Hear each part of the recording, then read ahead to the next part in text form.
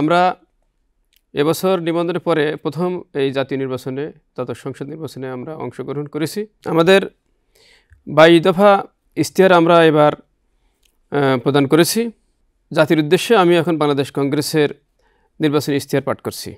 এক নম্বর দফা হচ্ছে রাষ্ট্রের প্রতিটি ক্ষেত্রকে দুর্নীতিমুক্ত করা। আমাদের দুই নম্বর ইশতেহার বিচার বিভাগকে সম্পূর্ণ স্বাধীন রাখা।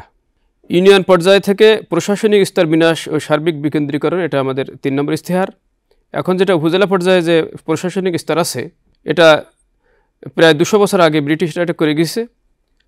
আমরা মনে করি দুশো বছর আগে একটা উপজেলায়, একটা থানায় জনসংখ্যা ছিল, এখন একটা ইউনিয়নে তার চাইতে অনেক গুণ বেশি। এজন্য আমরা ইউনিয়ন পর্যায় থেকে প্রশাসনিক স্তর এবং সার্বিক বিকেন্দ্রীকরণের আমাদের ইশতেহার দিয়েছি, এটা আমাদের তিন নম্বর ইশতেহার।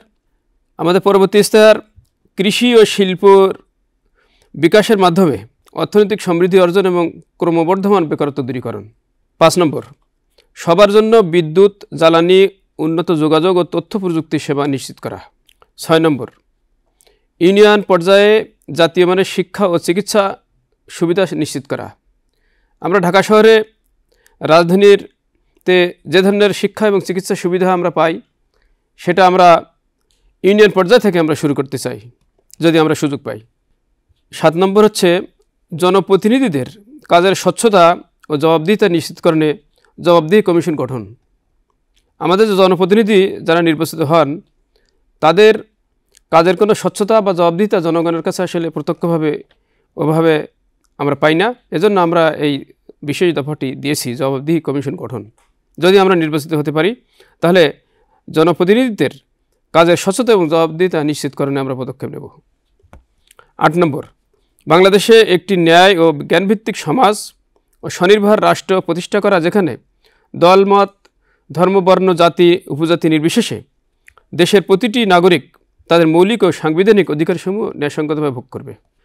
নয়, অংশীদারিত্বের গণতন্ত্র চর্চা ও সুস্থ ধারার রাজনৈতিক সংস্কৃতি গড়ে তোলা এবং রাজনীতিতে মেধাবী ও সুবিধাবঞ্চিতদের জন্য সুযোগ সৃষ্টি করা গবেষণার মাধ্যমে জাতীয় সমস্যাগুলো চিহ্নিত করা এবং সমাধানের পন্থা উদ্ভাবন করা। এটা দশ নম্বর আহ, ইশতেহার।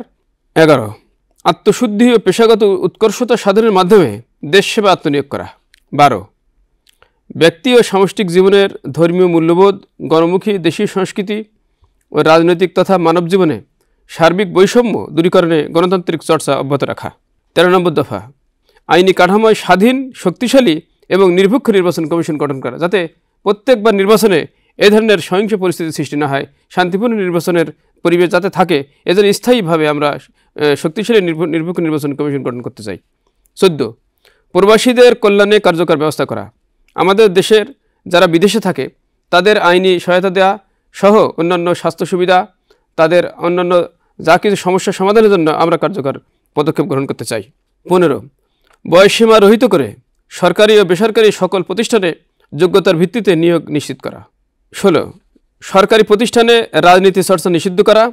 সতেরো, মুক্তিযোদ্ধাদের জীবনমান উন্নয়নে বিশেষ ব্যবস্থা গ্রহণ করা। আঠারো, ভূমিহীন ও শ্রমিকদের পুনর্বাসন ও জীবনমানের উন্নয়নে বিশেষ ব্যবস্থা গ্রহণ করা। আমাদের উনিশ নম্বর দফাটি হচ্ছে গণমাধ্যমের স্বাধীনতা নিশ্চিতকরণ এবং সংবাদকর্মীদের জীবনমান উন্নয়নে বিশেষ পদক্ষেপ গ্রহণ করা। আমাদের বিশ নম্বর দফা হচ্ছে দেশের সর্বস্তরে পরিবেশ বান্ধব কার্যকর পদক্ষেপ গ্রহণ করা। একুশ, দেশের যে কোনো উন্নয়ন প্রকল্পে নিয়োজিতদের কাজের জবাবদিহিতা আদায়ে কার্যকর পদক্ষেপ গ্রহণ করা।